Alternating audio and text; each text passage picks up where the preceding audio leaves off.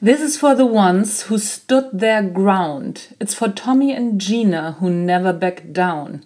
Tomorrow's getting harder, make no mistake. Luck ain't enough, you've got to make your own breaks. Aus Bon Jovis Hit It's My Life. Und da ist richtig viel dran. Es geht um das Thema Eigenverantwortung. Mehr dazu in der heutigen Folge.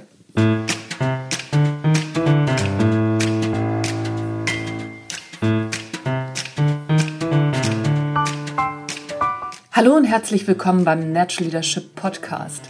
Der Podcast, der dir dabei hilft, der Mensch bzw. die Führungspersönlichkeit zu werden, die du sein willst. Du bekommst innovative Ideen, praktische Tipps, jede Menge Impulse und neueste Informationen aus der Hirnforschung für deinen beruflichen Erfolg und deinen persönlichen Entwicklungsprozess. Mein Name ist Anja Niekerken und wie immer ist es mir eine Freude, dass du dabei bist.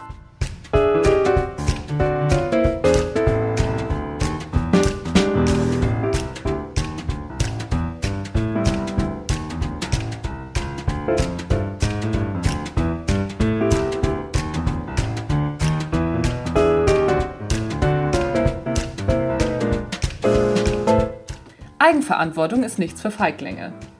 John Bon Jovi hat das relativ gut auf den Punkt gebracht. Make no mistakes, make your own breaks. Also, ne, wenn du glaubst, irgendjemand anders würde irgendetwas für dich tun oder deine Entscheidungen treffen oder keine Ahnung, Hütz mit dem Mütz, was auch immer, dann bist du einfach schief gewickelt. Und dazu habe ich euch heute ein Kapitel aus Montags muss ich immer kotzen, Erste Hilfe gegen Arbeitsübelkeit mitgebracht. Da geht es nämlich genau darum. Und genau mit diesem Songzitat fängt auch das Kapitel an. Du musst nur einen Job finden, den du liebst und du musst keinen Tag mehr arbeiten. Ja, wenn das mal so einfach wäre. Wer der Meinung ist, er arbeite, um zu leben und um sich etwas leisten zu können, da ging es überhaupt nichts einzuwenden. Wer ein aufwendiges Hobby hat, zum Beispiel Motocross oder Kitesurfen, der braucht schlicht und ergreifend ein bestimmtes Einkommen, um sich seinen Freizeitspaß auch erlauben zu können. Nicht jeder Mensch muss total beseelt von seiner Arbeit sein. Beruf kommt nicht immer zwingend von Berufung. Auch das ist im Grunde nur ein schicker Werbeslogan aus lutherischen Zeiten. Allerdings bedeutet es nicht, dass wenn die Berufung sich nicht im Job einstellt, man auch gleichzeitig die Verantwortung für sich selbst und das eigene Leben ablegen kann.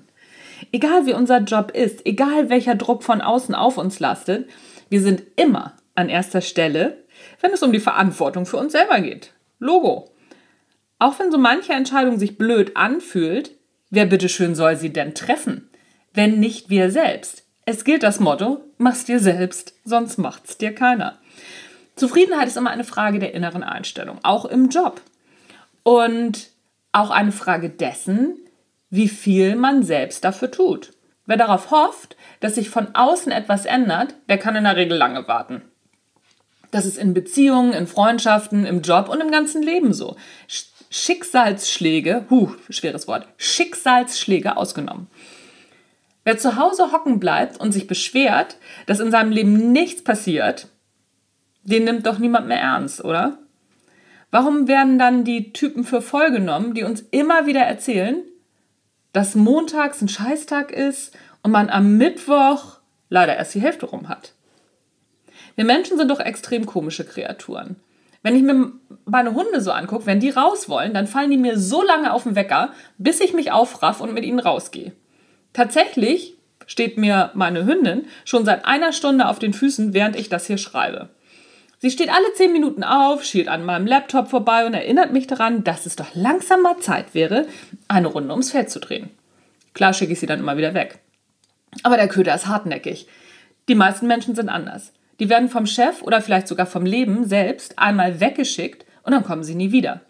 Während das Hunde würde nie jemand mit ihnen spazieren gehen. Sie würden irgendwo in die Ecke kacken und wären den Rest ihres Lebens unglücklich. Menschen machen das so. Sie kacken im übertragenen Sinne in irgendeine Ecke und sind ihr Leben lang unglücklich. Natürlich ist es Chefsache zu reagieren, aber wenn Chefs bei jeder Anfrage springen würden, dann würden sie verrückt werden. Und wir sind eben keine Hunde.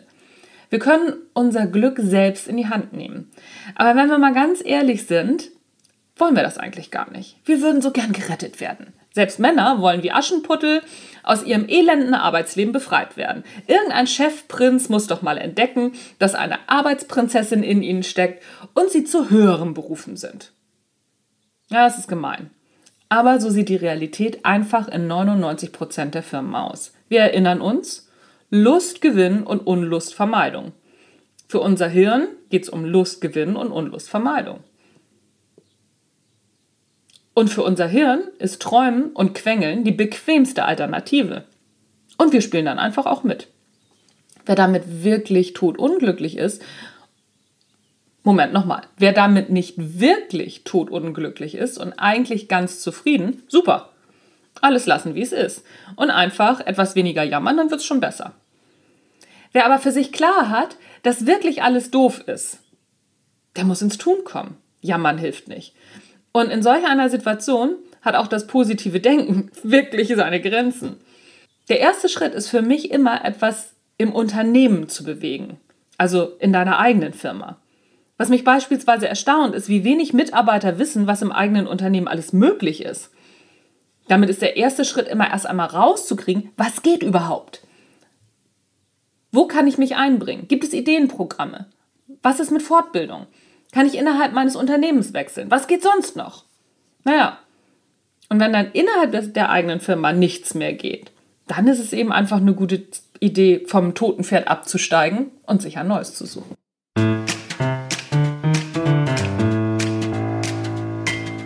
Das war's für heute vom Natural Leadership Podcast. Wie ist dein deine Meinung dazu? Hast du Ideen dazu? Übrigens, das Buch Montags muss ich immer kotzen, Erste Hilfe gegen Arbeitsübelkeit, gibt es in jeder Buchhandlung. Meistens musst du es bestellen, liegt meist nicht vorrätig da. Oder aber bei Amazon und äh, dem Internetbesteller, Besteller, Versender, was auch immer, deines Vertrauens. Freuen, wenn ich nochmal ein paar Rückmeldungen zu dem Buch kriege. Wie hat es dir gefallen, wenn du es gelesen hast? Hast du es überhaupt gelesen? Wenn nicht, wird es natürlich Zeit. Heißt, montags muss ich immer kotzen. Erste Hilfe gegen Arbeitsübelkeit. Ja, und wie gesagt, wenn du es schon gelesen hast, gib mir doch mal ein Feedback. Ich freue mich auf jeden Fall darüber, denn ich bin schon dabei, das nächste Buch zu schreiben. Und um ein besseres Buch zu schreiben, ist Feedback immer hilfreich. Das war's von mir für heute. Mein Name ist Anja Niekerken. Das war der Natural Leadership Podcast. Tschüss, bis zum nächsten Mal.